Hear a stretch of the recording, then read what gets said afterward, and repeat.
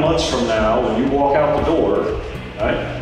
What would you consider your senior year a success, let's say? But I'd like to invite you to do something else. What is, what does God want out of your senior year this year? Your senior year. Have you asked him that? He, he's crazy about you. He's crazy about you.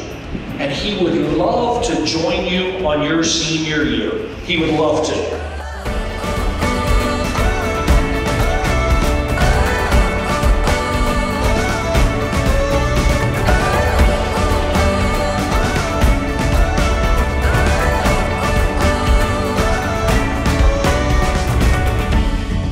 Chose Matthew 7, 7 through 8. We all kind of talked about, you know, what were we concerned about going into senior year and, you know, what were going to be the challenges that we were going to face.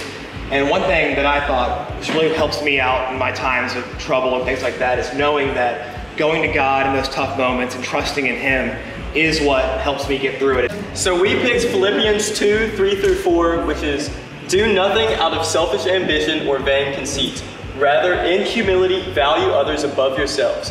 We're hoping to unify each other by being the leaders and being bold by taking the first step by reaching out to underclassmen, by reaching out to people that we don't interact with a lot. Kind of our group's focus was like sustenance and what it means to like be sustained. When we meet these troubles that we have, like it's gonna be hard to push forward.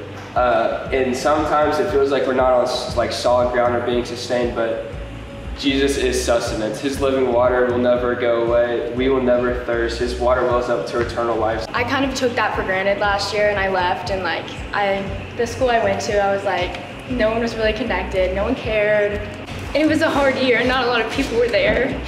And I took for granted everything I had at BA. And I just really want everyone to be close this year. We do have a connection among all of us, but we think that there's definitely room to grow in that connection and build this bond stronger, especially in this last year we have together. I would like for everybody to put your heads down. You're going to vote on the verse you would choose personally, you personally. Please raise your hand if you think that is our verse this year. Please raise your hand and keep it up, please, okay? He desires for you to have peace, not to live in fear, not to live in anxiety. He desires you. And it's not me producing peace, it's Him.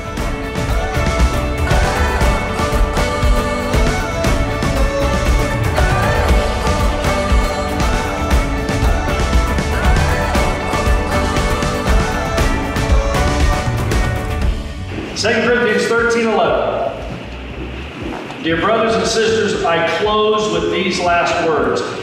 Obviously, Paul the Apostle was not a senior when he was writing this. But as you guys think this, this is your last year, this is your last chance to make an impact in Brentwood Academy. It's almost like you're saying, you know what, if I can tell you one last thing, here's what I'll tell you, be joyful. Pretty cool, right? Grow to maturity, not just physically, right, but spiritually, mentally. Live in harmony and peace. And then the God of love and peace will be with you.